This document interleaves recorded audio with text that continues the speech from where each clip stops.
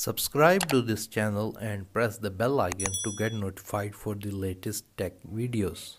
Hey what's up YouTube, this is Wasay here and in this video I am going to show you how you can open blocked websites on your Android phone without using any VPN. So let's begin the video. So you may see that whenever you open some websites on your phone, you may get this message that the website can't be opened or it cannot be reached. This is mainly because it has been blocked by your organization or your ISP or internet service provider because they don't want you to access certain websites due to some legal restrictions etc but if you want to open them without any VPN then it's pretty simple. All you need is Google Chrome browser on your Android phone and that's it. So let me show you how you can open them. For this you're going to download and install Google Chrome browser on your Android phone because only with this browser we can open blocked websites without any VPN once you have installed Chrome browser you're going to open it and you're going to search for the website that you're trying to open. In my case you can see I cannot open this website.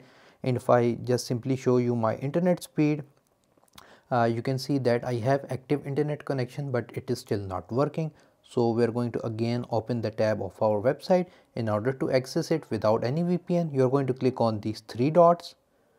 From here you're going to find the option settings. So here it is you're going to have an option privacy and security. If you are not seeing this option, make sure that you have updated Google Chrome to the latest version and you have uh, Android version 9 or above on your phone. So we're going to click on it.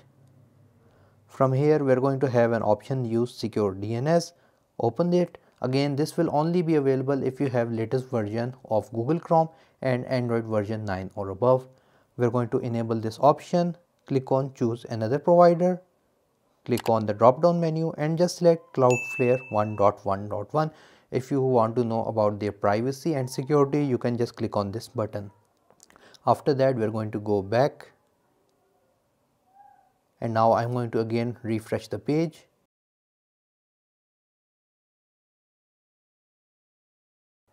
And now you can see I can open and access the website which was just blocked without using any kind of third-party VPN.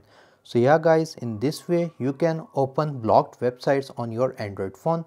If you guys found this video helpful, make sure to like it, subscribe to my channel and enable bell notifications so that you get notified for my latest upcoming videos. That's all for today. Thank you for watching and as always, stay safe.